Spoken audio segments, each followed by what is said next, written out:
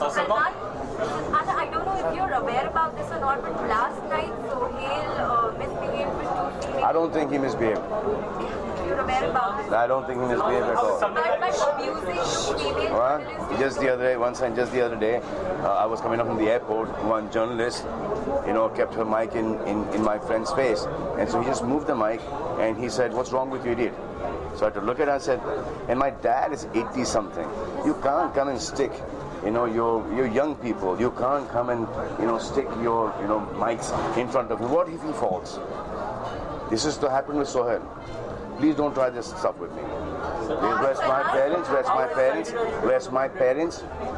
My family, my friends, especially my mother, Helen auntie, my dad. We're young people, you can do this with us. Don't do this because you will not like this if I do it in front of you. Your parents. So have that respect. See now you're standing here like this. It's so cool. Now you're competing with each other and you're no one's getting any bite, no one's getting any statement. So if my brother at that point in time is concerned for my father, he's not abusing you. He's just, you know, feeling really shit about this that whole situation that took place. It shouldn't have happened. If you guys have behaved yourself, that would have never happened. Why you why are you provoking? Don't provoke like this Keep your distance. आप एक दूसरे के ऊपर चढ़े जा रहे हो to get your mics in front. You have the decorum, no? We all stand. Who doesn't stand? Who does not talk to people here? We all do. But there's one section who does not just want to, you know, keep that decorum in, intact. We're seniors.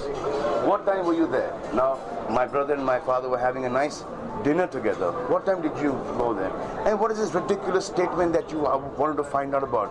What the, what was the time? 12 o'clock, 12 o'clock in the night. You want to know whether I'm getting married or not?